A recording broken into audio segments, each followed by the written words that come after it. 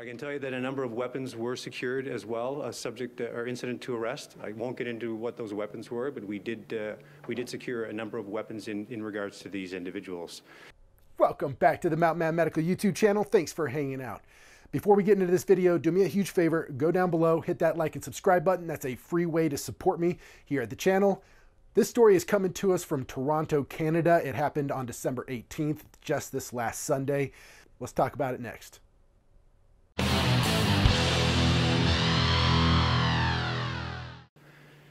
When emergency medical services staff uh, commenced medical intervention, they realized that the victim had suffered what were, what were described as stab wounds.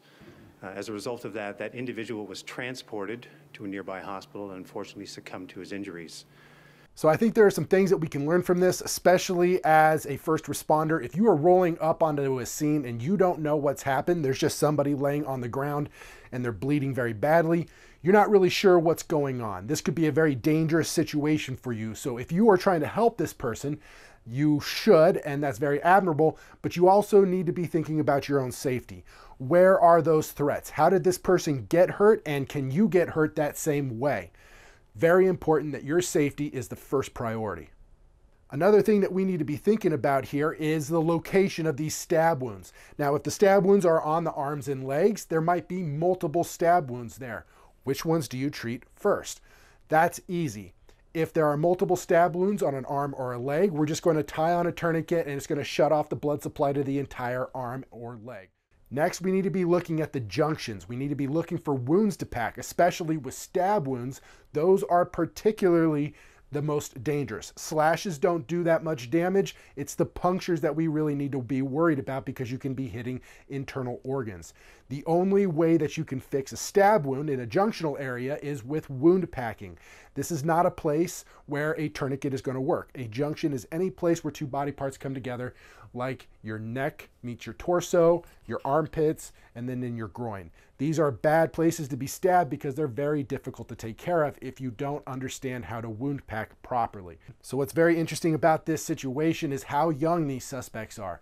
They are young teenage girls, some of them as young as 13 years old, all the way up to 16 years old.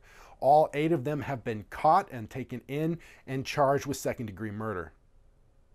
They met each other through social media. They come from varying parts of the city. That is to say, they are not from one specific geographic location, but I wouldn't describe them as a gang at this point, would be consistent with what we traditionally call a swarming or swarming type behavior. Now, I tried to look up some stuff on this swarming behavior and I wasn't able to find anything in really relation with humans. Uh, some things about AI swarming and animal swarming and that kind of thing. So I don't really understand his use of the term swarming here, but I'm guessing that, that he's hesitant to call them a gang necessarily and that uh, they just attacked and everybody just kind of pitched in and uh, went with the uh, went with the group, so to speak. The 59-year-old victim, I wouldn't necessarily call him homeless. Maybe just recently on, on some hard luck pretty rough story. I'm sad to hear all of that, uh, but I think there's some things that we can learn from this. Uh, from stabbing wounds, we need to be thinking about a couple of different things. One of those things is, is that we can't really trust the casualty to tell us where their stab wounds are. If you run up to talk to that casualty and you say, where are you hurt? And they say here, we need to believe them and make sure that we're checking where they are injured, but we also need to be checking their entire body. We need to do a full sweep from head to toe and treat as we go. We don't know how many wounds they have and where those wounds are, and neither will a casualty.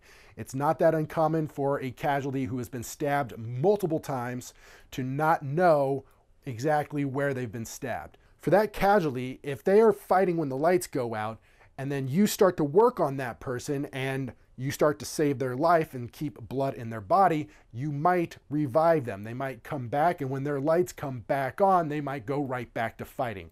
They might not realize that you are somebody that is trying to help them. So we need to make sure that they aren't going to be coming after us. That's not that uncommon. I've had to hold people down on numerous occasions only because they didn't know what was going on.